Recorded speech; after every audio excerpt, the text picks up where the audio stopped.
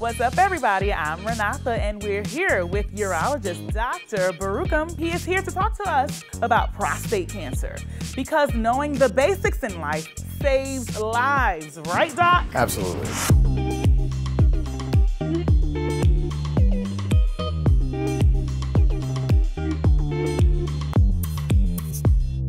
Okay, Doc, what should men know when it comes to early detection of prostate cancer? One of the things that we've learned about prostate cancer is very often they'll present with no symptoms. So it's one of those things that you have to kind of test for to figure it out. The testing really consists of two main things. One is to do a blood test called a PSA test, and the other is through a simple digital exam where a finger is inserted inside through the backside and we'll take a three second examination of the prostate. And so that's why the men don't like to do the prostate cancer exam. Right. And so there's two elements to that. I think number one is it's really not such a big deal. You know, we're, we're talking about a three second exam where the finger's going inside, you're just doing the exam. It has nothing to do with your manliness or your manhood. We're, we're doing a, a, medical examination that within a moment is done and can, can actually save lives.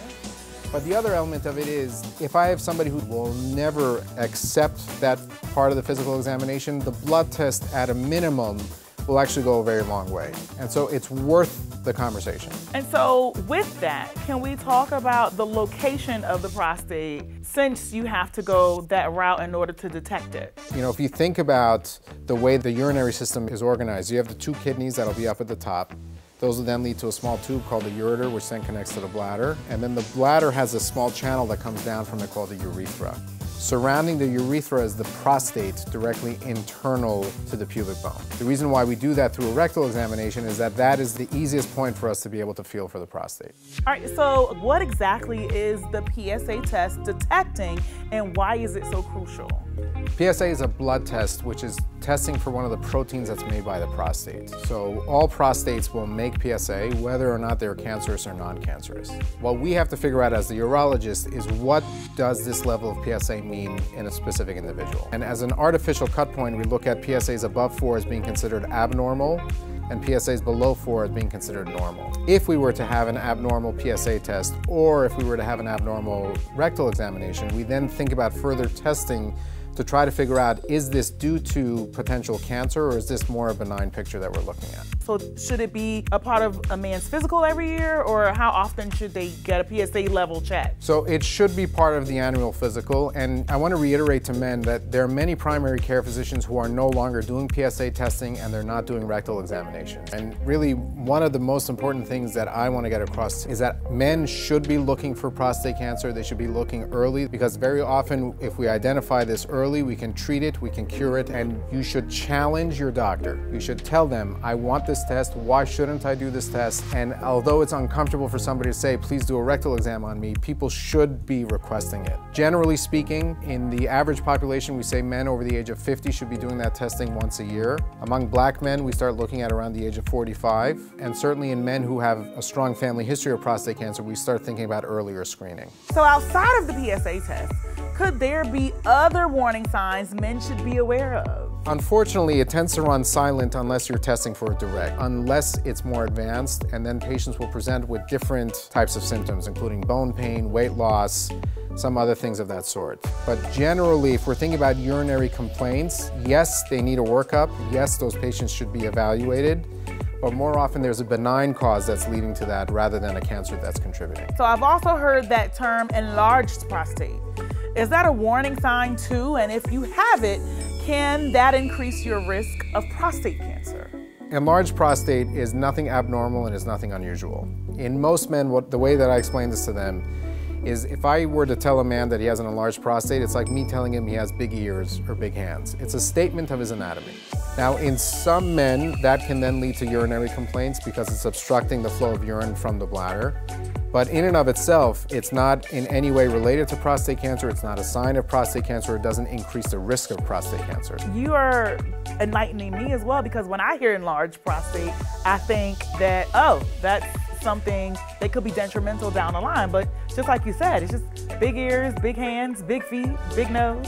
You just have a big prostate. Right. Now, most people, we're identifying it because they're having urinary complaints. Most men will say, I'm waking up a few times a night, or I'm having a difficult time initiating my stream, or I'm going very frequently during the day. In that scenario, enlarged prostate has a quality of life effect where we can treat them with medications and help, but it's not a sign of something more insidious going on.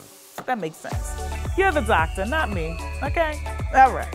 You seem like a doctor to me. I think we're So moving back to prostate cancer, once you're diagnosed, I know this is rather complicated, but can you break down the different stages of the prostate cancer? The best way for people to kind of think about this is in some people you have organ confined disease, which is more localized, which you've identified at an earlier stage.